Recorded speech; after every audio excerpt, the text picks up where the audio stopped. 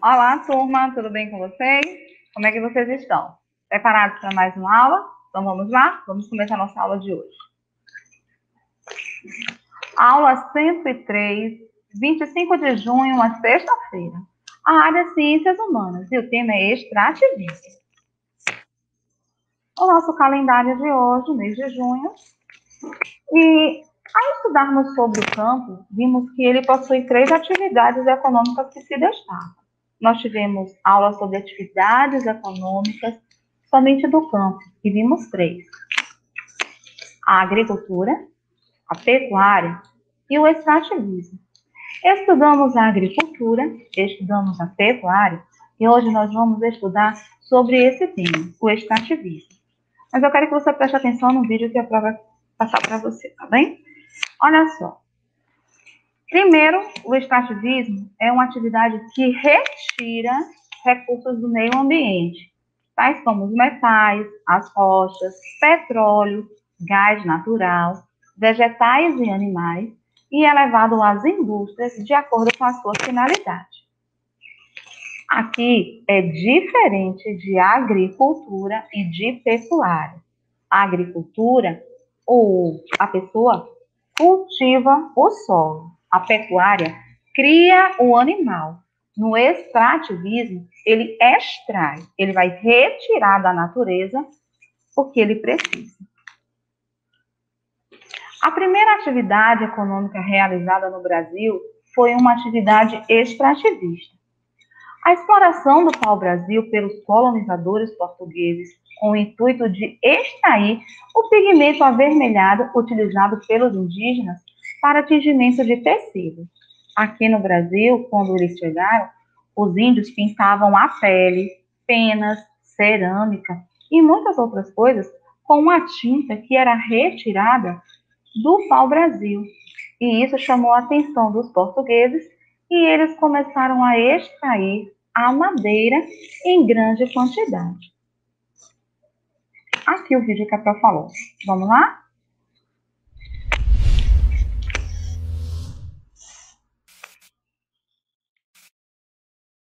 Extrativismo significa tirar da natureza o que ela oferece. A pesca e a caça são formas de extrativismo animal. Um tipo de atividade muito presente nos nossos ancestrais até a Revolução Agrícola há 10 mil anos, quando a sociedade humana começou a produzir alimentos e domesticar animais, que seria a futura pecuária. A caça, nos dias de hoje, está apenas restrita às comunidades mais primitivas. Já a pesca por mais que tenhamos mais de 8 mil quilômetros de litoral, é ainda uma atividade muito subaproveitada. Talvez por uma questão histórica no processo de colonialismo, quando o português introduziu certos animais como boi, vaca, búfalos, foram justamente animais que foram aos poucos se tornando uma atividade de consumo. Também existe outra forma de extrativismo, o mineral é a atividade da garimpagem, onde consiste em extrair minérios do subsolo. Na Revolução Industrial, no século XVIII, o carvão mineral foi a fonte de energia principal para as máquinas a vapor, afinal, a Revolução Industrial foi uma grande reviravolta na história da humanidade. Engenho Tinoco, no município de Rio Formoso, estão 100 hectares de seringueiras. Elas são usadas para a extração do látex. Essa atividade de coleta do látex acontece sempre nas primeiras horas da manhã, porque em contato com o calor, o látex endurece e diminui a produção. Basta fazer um pequeno corte na casca e em poucos segundos o látex começa a escorrer. Por mês, são retirados dessas árvores 30 toneladas de látex. A coleta de madeira, raízes e folhas é chamada de extrativismo vegetal.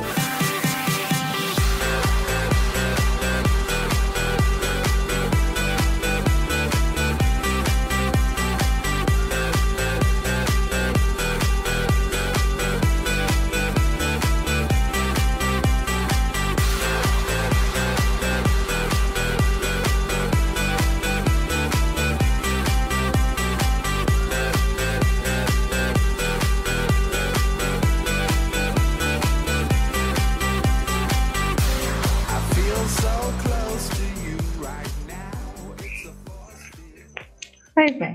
O professor explicou para a gente o que é o extrativismo, desde quando o Brasil tem essa atividade. E todo o mundo trabalha com isso. Nós retirarmos da natureza determinados, determinadas matérias-primas que elas serão úteis para a indústria, para serem produzidos aquilo que nós vamos consumir, seja na alimentação, seja na roupa, seja nos utensílios de casa ou qualquer outro objeto daquele que faça parte da necessidade do nosso dia a dia.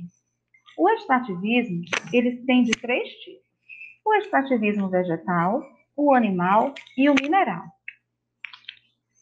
O extrativismo vegetal, como você pode perceber, ele vai consistir na retirada de recursos de origem vegetal. Na região norte, é muito comum o extrativismo de madeira, castanhas, açaí e látex, que é a seiva extraída da seringueira, muito utilizada na fabricação de borracha. Tem outra coisa, existem também nas comunidades ribeirinhas aquelas pessoas que são contratadas por indústrias de cosméticos para catar as frutas, as sementes, cascas de árvores e folhas para serem estudadas para descobrir a essência, os óleos que fazem parte dela para fazerem parte dos componentes químicos que vão fazer o aroma, que vão produzir o aroma dos perfumes, dos hidratantes e do shampoo. Aqui nesse vídeo mostra o seringueiro, porque seringueiro é o, a pessoa que trabalha extraindo.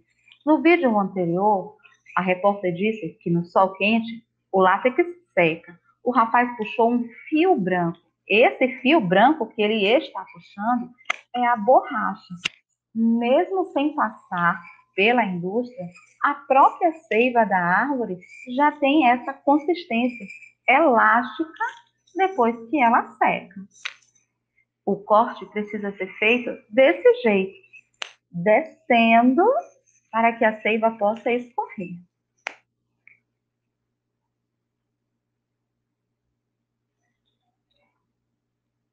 Interessante, né? Mesmo ela assim, na natureza, na própria árvore, ah, vira uma borracha mesmo, fica elástica. Outro extrativismo, vamos lá? Qual o outro tipo de extrativismo que nós vimos? O extrativismo animal. Ocorre a captura de animais, como a caça, e a caça é ilegal no Brasil. Só não é ilegal para as comunidades indígenas mas as outras pessoas que caçam nas florestas e nas matas é um crime ambiental. Então, a caça e a pesca devem obedecer determinadas regras.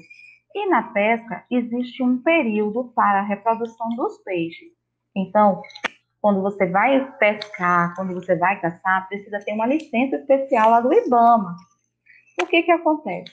Se estiver no período em que as peixinhas, as fêmeas, estão no período de reproduzir, ou o peixe estiver muito pequeno, esse período não pode haver a pesca. Assiste aqui esse vídeo se você vai entender qual é a diferença de você pescar por diversão e de você ter a pesca como extrativismo. E essa cena todo mundo conhece.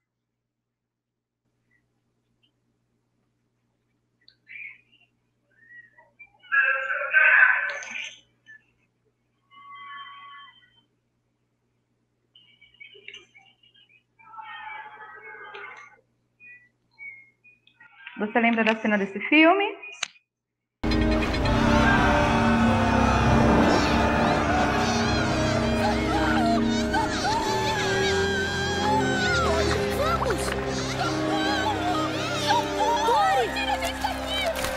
Não, não, não, não! Pai, eu sei o que fazer! Nemo, não! A gente tem que falar pros peixes pra nadar pra baixo juntos! Sai daí agora! Eu sei que vai funcionar! Não, eu não vou te perder outra vez! Pai, não dá tempo! É o único jeito de salvar a Dory! Ah, ah, Eu vou conseguir! tem razão. Eu sei que você vai. Nadadeira da sorte! Vai então, depressa! Fala pros peixes pra nadar pra baixo! Bom,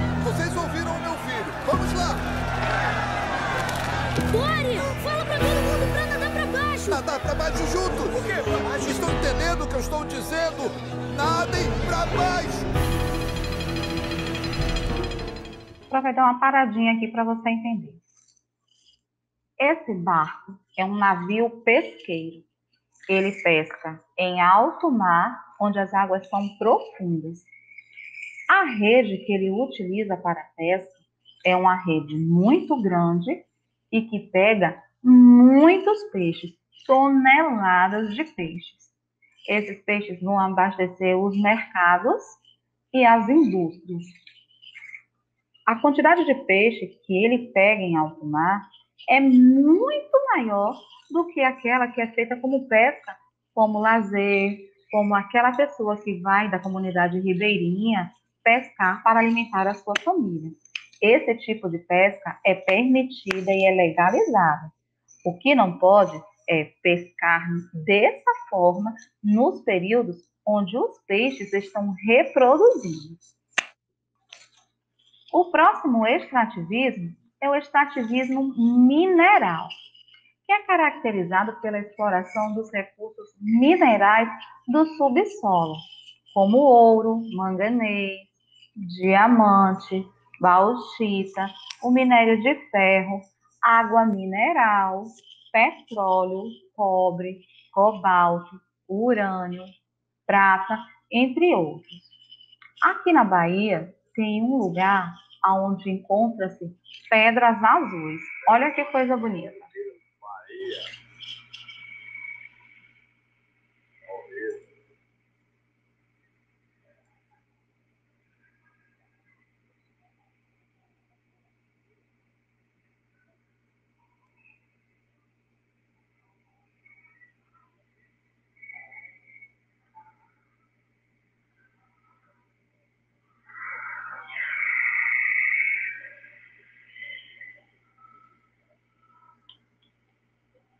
Essa é uma pedreira, de onde se extrai as pedras.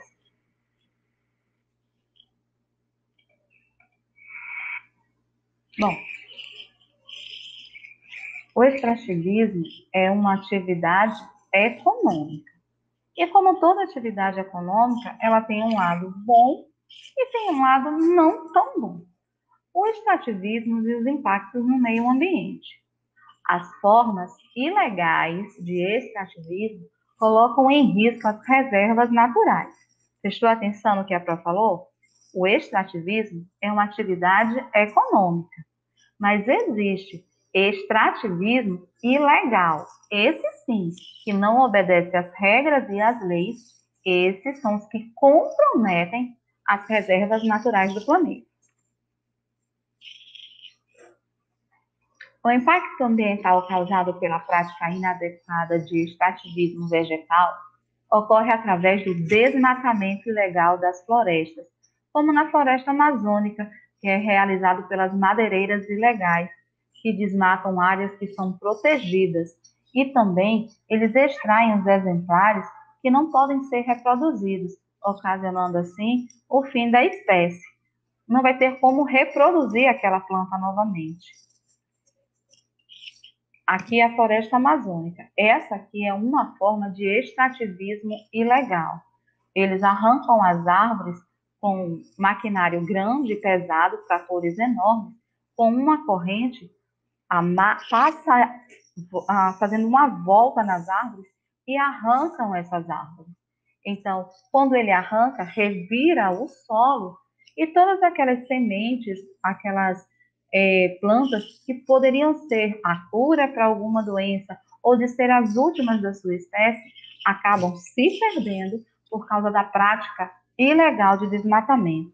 Uma outra coisa que eles fazem para ficar camuflado é chegar numa área de mata bem fechada e fazer o desmatamento em lugares separados para não ser pego nem pelos fiscais e nem pelo satélite.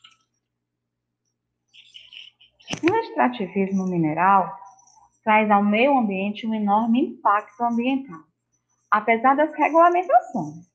Esse tipo de atividade modifica sensivelmente as áreas exploradas, pois eles dependem da abertura de grandes crateras, alterando o relevo e retirando a sua cobertura vegetal. O resultado são grandes áreas sujeitas a erosões, como ocorreu nas cidades mineiras de Mariana e de Brumadinho. Para uma pedreira, para uma mineradora funcionar, ele tem que escavar toda essa área, fazer uma parte de uma represa, uma barragem, para lavar o minério, acumular os dejetos, e o solo fica muito sensível. Vai perder toda a vegetação que sustenta a veia mais fina de cima e acaba que acontecem os deslizamentos, os desmoronamentos. Fora o prejuízo da poluição, porque existem minérios onde soltam muitos resíduos sólidos que contaminam o leito dos rios. Você pode observar pela cor da água que escorre depois da lavagem. E aqui foram as duas tragédias ambientais na cidade, no estado de Minas Gerais. Em 2015, a cidade de Mariana e em 2019, a cidade de Brumadinho, onde as barragens romperam e toda aquele água com resíduo sólido foi em direção às cidades. Até hoje, a cidade de Mariana e de Brumadinho ainda não se recuperaram desse desastre. E no extrativismo animal, o importante é que, para a sobrevivência e para o desenvolvimento, os animais precisam estar no seu habitat natural. O que importa é você saber que os animais silvestres, eles não podem ser comercializados nem capturados. Isso impede a reprodução desses animais.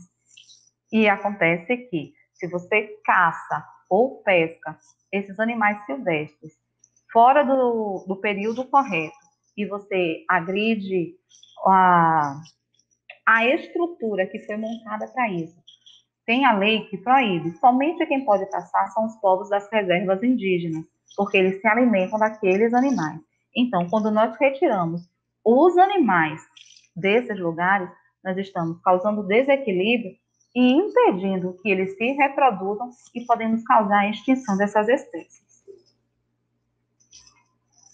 Nós vimos o extrativismo vegetal, o extrativismo mineral e o vegetal. Cada um deles extrai algo da natureza. Nós temos três imagens, elas estão numeradas. E nós vamos agora relacionar a imagem que fala, que mostra para gente que é extrativismo animal. Qual é o número que nós vamos colocar na letra C? Das três imagens, qual é aqui? Está, está extraindo um animal do meio ambiente. Número 3, a pesca com rede ou pesca de arrasta, ela é uma pesca de extrativismo. Vegetal, ah, agora você tá craque, já viu essa planta duas vezes? Justamente. O seringueiro extrai o látex das plantas chamadas seringueiras. E isso é extrativismo vegetal. Este homem, ele também é um outro profissional da atividade extrativista. Ele é um garimpeiro. Número 2. Utilizando as mesmas imagens, o que você acha que vai acontecer com esses produtos que foram extraídos da natureza?